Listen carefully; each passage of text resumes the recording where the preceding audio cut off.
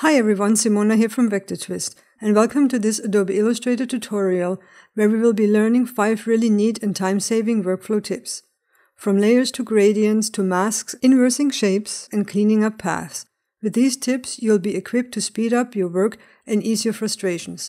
So make sure you'll keep watching, because learning Illustrator is easier than you think. Before we start with this tutorial, make sure to subscribe to the YouTube channel and hit the notification bell if you haven't already, so you'll never miss any of the Vector Twist tutorials. And with that said, let's get started.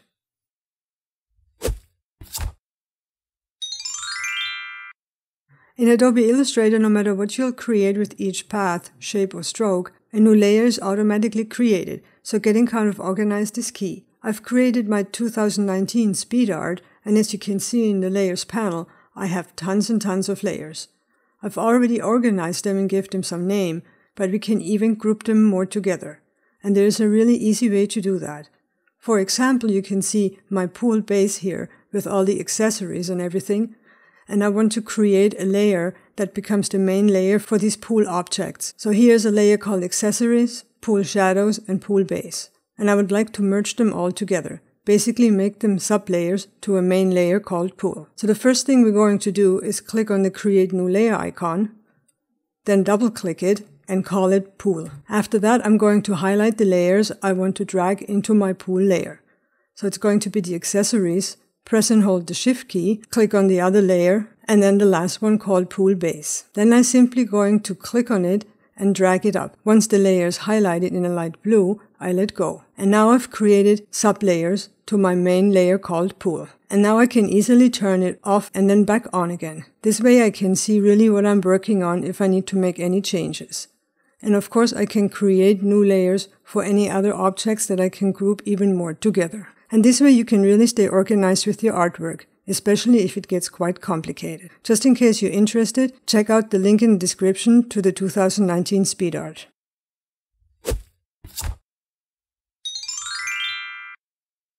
So I have finished all my design and everything looks good and I'm happy with it, but I want to clip it to my artboard. Basically the black rectangle you see here is my artboard. And I would like to isolate just the numbers and parts of the pool and not show all of the design. Now I have all my layers and I could easily create a clipping mask. I'll quickly show you. I'll take the rectangle tool. I create a clipping mask. I'm on my top layer and then I select everything and then go to object, clipping mask and make. Now I have clipped everything, but you can see all of my layers have been destroyed. There's nothing left in my layers here and everything has been merged into one. And of course, this is not something you want to have. You've done so much work to keep everything organized, and I have a really great tip how you can keep all your layers and still apply a clipping mask. So let me undo and let me show you how you can create a clipping mask without destroying any of your grouped layers. We want to create a top layer and let's call it main, basically a layer on top of everything. Simply use again the create new layer icon and give it a name. After that, I'm going to select all of my layers below. An easy way to do this is with the cursor, just create a rectangle on all of the layers that you want to merge into the top layer. And then repeat the step, grab them, and once the layer is highlighted, let go. Now we have a main layer with tons of sublayers. Then we create again a new layer, and then we call it mask. Once we've created our layer called mask, we're going to add a rectangle the size of our artboard. So we have a clipping mask to choose from. Then we're going to select the main layer, click on the flyout menu of the layers panel, and choose Make Clipping Mask. Now everything has been clipped to the mask, but as you can see, all your layers are intact. I can still hide the pool if I want to. I can still hide other elements. Nothing has been destroyed, but we still clipped everything to the area that we wanted to clip it to.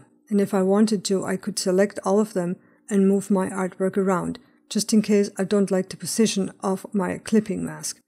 So I select everything and then I can move things around within my layer mask.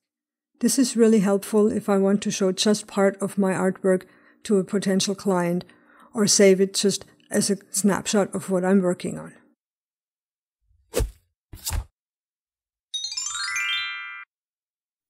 The next tip was sparked by a recent comment left by a viewer on my freeform gradient tutorial and it's really a great tip and I want to share it with you.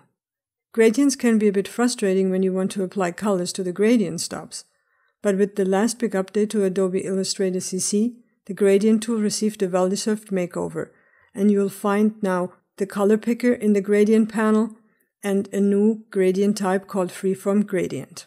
As an example, I have a popsicle icon here on the artboard, and I would like to change the main shape into different colors, into a multicolored design, kind of resembling a cotton candy look with pastel colors. And the Freeform Gradient tool will really help here. And with the color guide open, I can easily choose my colors as well. So let me show you how it works. I'm going to select my main shape and I'll make sure the color guide has activated the color, basically set the base color to the current colors. All we have to do is double click it. Then from the drop down, we can choose any color harmonies. I've chosen Triad. So once you've chosen your color harmonies, you can select in the gradient panel the freeform gradient type and apply it to the shape. It will randomly add some gradient stops with some random colors. Now all we have to do is highlight the stops and then pick from our color guide the colors we would like to add. So for the first one, I'm going to apply a nice bluish pastel. I'm selecting my next gradient stop and I'm going to apply my yellow, another gradient stop. Maybe I'm going to pick a warmer or cooler color from my color guide. Let's pick a cooler color. And then the last stop, I'm going to go with a more muted orange. And this is how you can apply different colors via the gradient tool and the color guide to your artwork. And the best part about is that if you're not sure what colors would work together, the color guide will give you all of the harmonies from complementary to monochromatic to triad and so on. And it is really easy with the freeform gradient tool to pick the color stops and color them. Thanks to all of you who take the time to leave comments. They're very much appreciated and as you can see are helpful to me and others. And if you like this little popsicle icon, I have a written tutorial over at vectortwist.com. Just check it out. The link is in the description.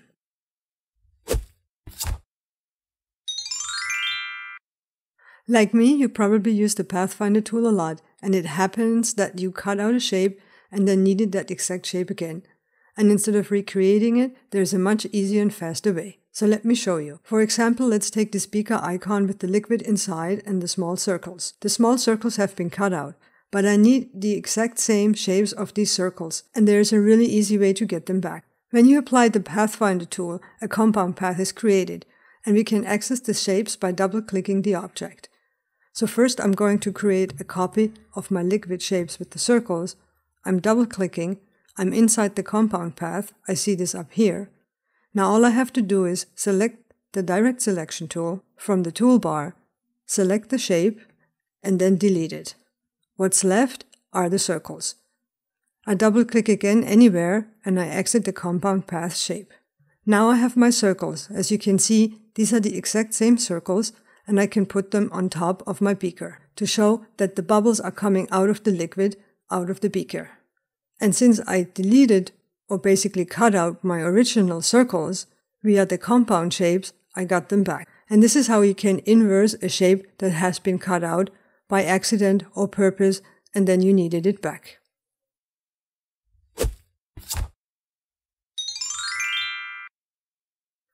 The last workflow tip in Adobe Illustrator is one that I use often.